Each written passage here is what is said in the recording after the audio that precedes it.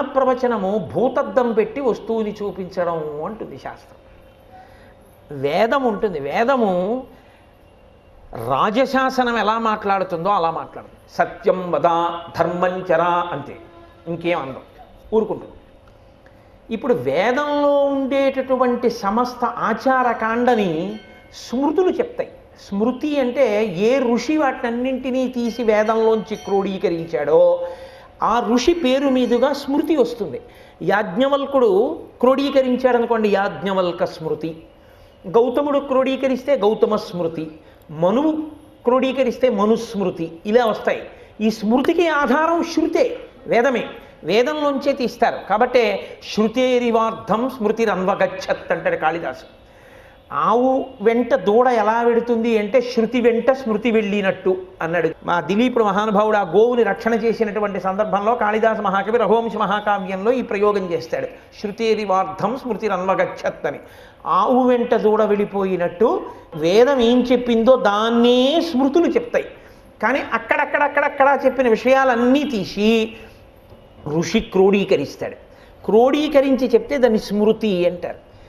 ఇప్పుడు శృతి స్మృతి ఈ రెండు ఏం చెప్తాయంటే మనం ఎలా ప్రవర్తించాలో ప్రామాణికంగా మనకి చెప్తాయి ఈశ్వరవాక్కు కాబట్టి. కానీ దాని మీద మనకి బాగా బుద్ధి కుదురుకోవాలనుకోండి పురాణం వినాలి. పురాణం వింటే వేదాన్ని స్మృతిని విన్నట్టే. ఎందుకని? ధర్మంచరా నువ్వు ధర్మమునే అనుష్ఠించు. ధర్మమే అనుష్ఠిస్తే ఏమవుతుందండి? రామాయణం విని నీకు అర్థమవుతుంది? ధర్మం అంటే ఏమిటో? ఎలా రక్షిస్తుందో? ఇప్పుడు వేదంలో ధర్మంచర అన్న మాటని రామాయణ మహాకావ్యం రామచంద్రమూర్తి యొక్క జీవితంగా సమర్థించి చూపించి మీకు ధర్మమునందు పూనిక కల్పిస్తుంది. అయితే మళ్ళీ పురాణానికి చరిత్రకి ఓ తేడా ఉంటుంది. పురాణంకి చరిత్రకి ప్రధానమైన వ్యత్యాసం ఎక్కడుంటుందంటే ఒక వ్యక్తి పుట్టుక ఒక వ్యక్తి పెరుగుదల ఒక వ్యక్తి మరణము వరకే చరిత్ర మాట్లాడుతుంది. కృష్ణదేవరాయల వారు ఎప్పుడు పుట్టారు? ఎలా పెరిగారు?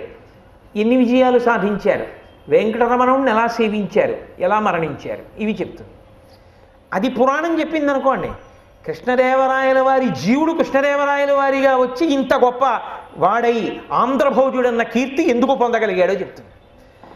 కృష్ణదేవరాయల వారి శరీరం పడిపోయిన తర్వాత కృష్ణదేవరాయల వారి జీవుడు ఏమయ్యాడో కూడా చెప్తుంది అందుకే సర్గశ్చ ప్రతిసర్గశ్చ వంశో మన్వంతరానిచ అక్కడ సర్గ ప్రతిసర్గ నియమంతో వంశాన్నంతటిని మన్వంతరములన్నింటినీ వర్ణిస్తూ జీవుడు ఎలా వైక్లభ్యాలు పొంది శరీరాల్ని మార్చుకుని చిట్ట చివరికి ఈశ్వరుడు ఎందుకు చేరాడు అన్న విషయాన్ని వర్ణిస్తుంది.